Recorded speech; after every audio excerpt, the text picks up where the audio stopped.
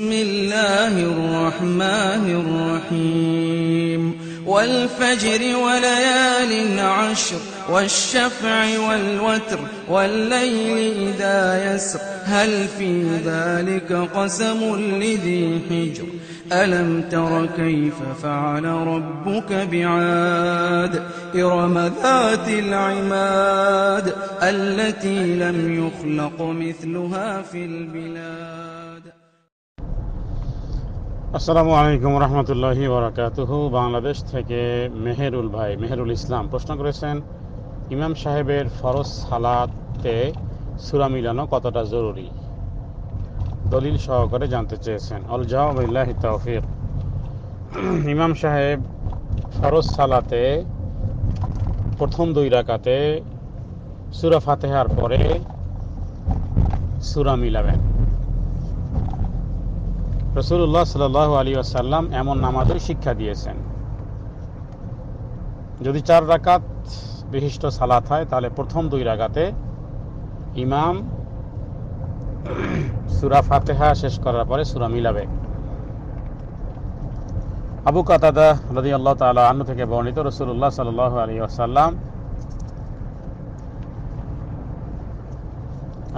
জোহরের দুই রাকাতে সুরা ফাতেহা ব্যতীত আরও দুটি সুরা পড়তেন।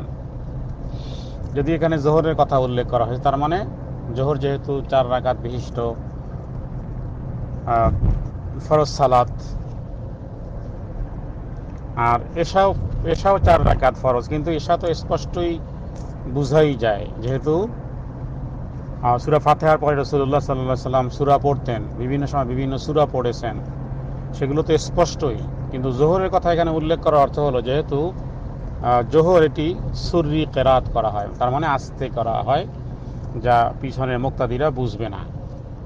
যে কি শুধু ফাতেহাই পড়ল, না সুর ফাতেহার সাথে সুরাও মিলালো।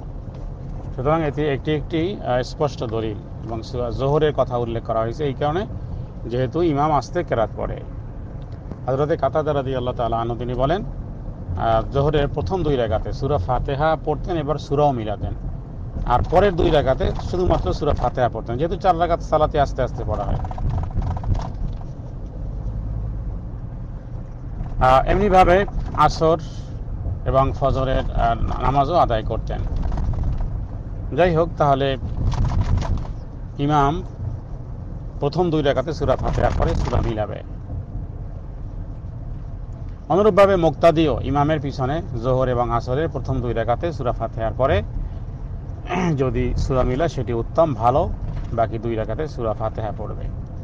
এ প্রসঙ্গে হাদিস রয়েছে। প্রথম হাদিসটি সেই বুখারি এবং মুসলিমের।